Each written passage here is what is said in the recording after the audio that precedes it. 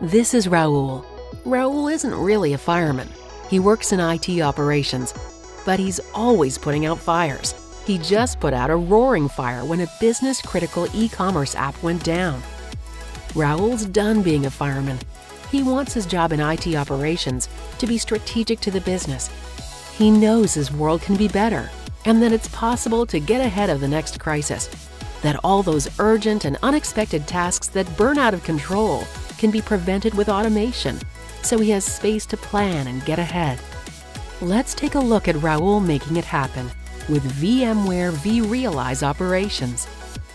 Raul can automagically adjust his environment as needed, like adding capacity for an application that needs more, so he can continuously optimize workloads for best performance. Plus, with one tool, Raul is able to get ahead of future demand and plan where critical workloads will get deployed.